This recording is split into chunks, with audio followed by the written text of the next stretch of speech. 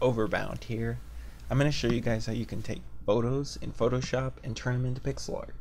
Uh, first we need to get acquainted with the quick selection tool over here on the left. If you don't see it, it's underneath the magic wand. Just select the magic wand and hold down and this menu will pop up and here it is. So select that. What this tool does is it works like a brush for selecting things. It even has the brackets to make the brush size bigger and smaller and it has a menu for adjusting options similar to the pencil and brush tools. It will, with one click, it will attempt to um, find edges and stop selections at those points, at those edges. So if I click here on the inside of the bird, you can see it found a selection all, all the way around the bird. Uh, it selected all the gray feathers and found the the back of the bird and these white feathers down here. If I click again, it will add more to the selection. Here I got the whole head. Click just up there to get a little bit more. Um, I can continue to click and add to the selection, but what might end up happening is I might select too much. You can see there I got a little bit of the background. So what I can do when that happens is I can zoom in closer, reduce my brush size with the control or with the uh, bracket keys, and hold Alt down, and that will make this a deselection tool. You can see the effect up here in the menu, and it has a little negative sign over the brush. And I'll click, and I'll be able to get rid of some of that extra area.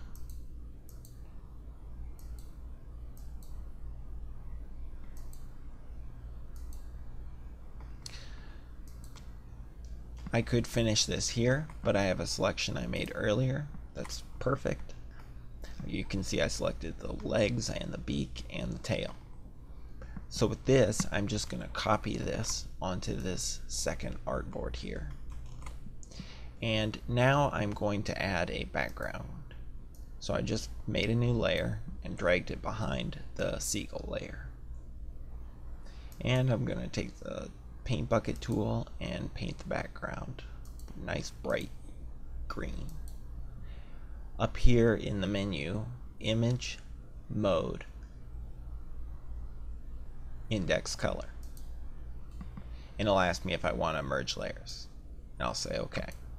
What we just did there was we told Photoshop we want to reduce the, the amount of colors that can be used by this image by indexing them and taking control of them right here. Photoshop will then downsize the images to the amount of colors you choose. Right now I have it set to 8, but it could be 24, it could be 1, which would just be the background.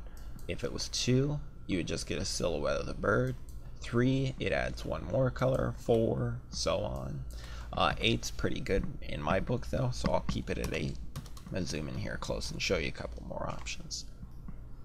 You can um, set the dither here to diffusion, which will create a little pattern where the colors transition. You can set it to 50%, 100%, it's a lot. Um, or you can use this pattern uh, setting and that creates this nice little pattern. I use the pattern a lot for backgrounds, but not very much for um, people and animals. Noise is another option, which I don't use much, but it's there if you want it. Okay, so I'm happy with the way this looks. I've adjusted um, my settings here. Under palette, I want adaptive, and I'm going to hit OK. And now I just want to remove this green background. But first, I'm in index color mode still, and I need to get back to RGB because um, Photoshop will limit the options available to you if you're in index color mode. A lot of the tools don't work on things, so RGB is the best mode to be in. Okay, so now I'm just going to go get my magic wand tool and get rid of this green. Oops. I need to get make this a regular layer rather than a background layer. So I'll just double click the little lock there and hit OK. And now I can delete this background. Okay. Zoom in close here. There's a little bit more green. I want to get rid of that color of green, so I'm gonna select it with the magic wand tool and delete it as well. Okay, now I just have the colors I want and I can go ahead and downsize this. Now this is the part of the video that sounds like a broken record. Um, if you haven't already, you need to go to Preferences up here in the Edit menu and General. Set this to nearest neighbor, image interpolation to nearest neighbor. It um, prevents Photoshop from adding colors when you rotate or distort images with the free transform tools. So I'm going to go ahead and right click this, having my marquee tool selected, and hit free transform. And again, up here in this menu, make sure that nearest neighbor is selected here as well. So I'll now downscale this. And I'm going to turn my grid on so I can get an idea of the size. Each square is 16 pixels.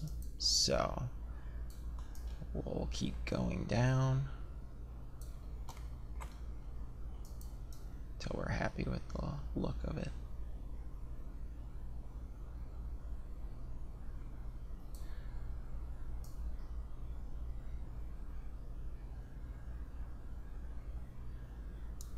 I'm looking at the bird and seeing different it changed the pixels change as I scale it and I'm trying to choose one I like um, I can always adjust the size later manually uh, without this and and keep the look I want that I th thought was best as I was scaling within a you know 10 pixels or so.